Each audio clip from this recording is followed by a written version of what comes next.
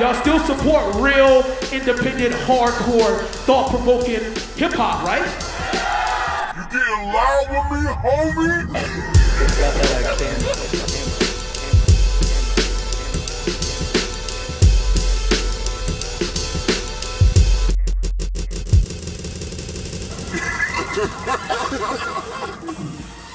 By the hand of Something like the tears of God or something. It's just a metaphor Metaphor is symbolism, yeah. for your connection to the earth. How does my personal decision have an effect on the people around me? If the intent of my personal decision to have an effect on the people around me? It was a dream, but I knew that I was dreaming. I was like, my consciousness was like online, but it was also like computer shut down.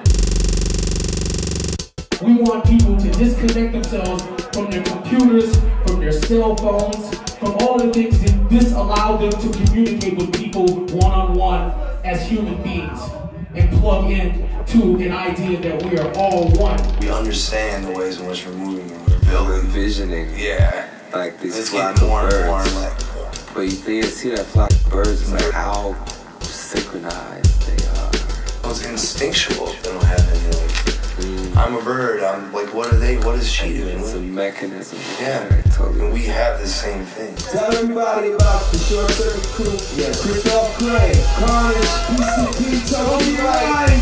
I don't know if y'all understand who Carnage is. Carnage is probably one of the illest on the planet.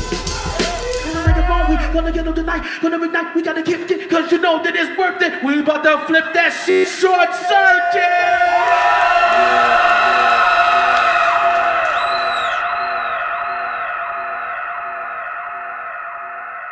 Short circuit.